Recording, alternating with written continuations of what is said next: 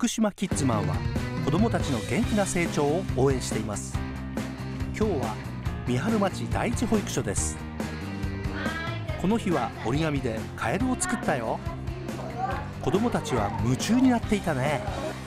とっても楽しそう。外ではキッズマンと一緒にリレーで勝負。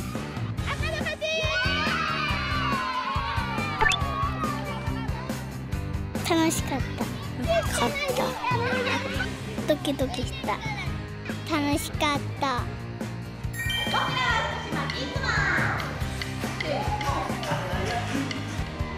みんなと一緒に元気よく練習中。本番も笑顔で頑張ろう。